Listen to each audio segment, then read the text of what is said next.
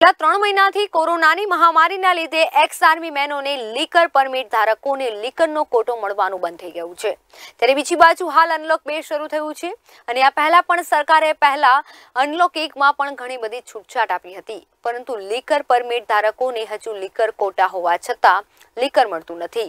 જેથી x army મેનોની દ્વારા તેમના કોટાનો લીકર આપવામાં આવે અથવા તો કેરી ફોરવર્ડ કરી દેવામાં આવે તેવી માંગણી કરવામાં આવી છે.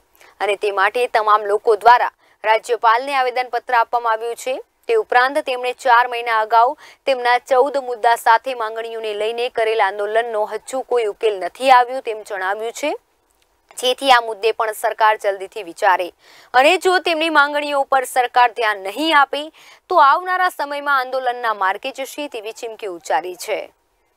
અમે આજે રાજ્યપાલશ્રીને રજૂઆત કરવા આવ્યા હતા. અમારા વિવિધ જે કોટા, લીકર કોટા તેમજ ગ્રોસરી આઇટમ સીએચડી દ્વારા મળવાપાત્ર થાય એ હાલ કોવિડ નાઇન્ટીનને લીધે છેલ્લા ચાર મહિનાથી અમને મળતું નથી.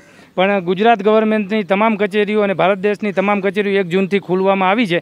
તો અમે એવું સરકાર પાસે માંગ કરીએ છીએ કે એક જૂનથી અમારી કેમ સીએડી કેન્ટીન ના ખોલવામાં આવી?